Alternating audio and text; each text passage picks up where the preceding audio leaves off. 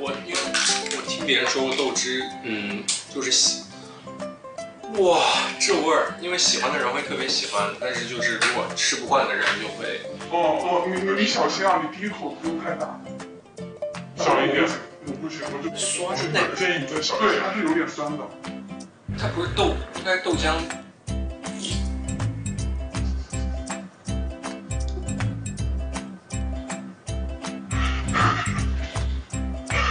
发现了新世界，对吧？哇，为什么是这个味儿啊？